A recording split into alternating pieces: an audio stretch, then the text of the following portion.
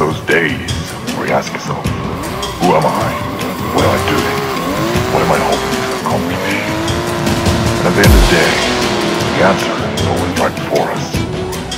We're hoping cause a change in something. We're trying to live.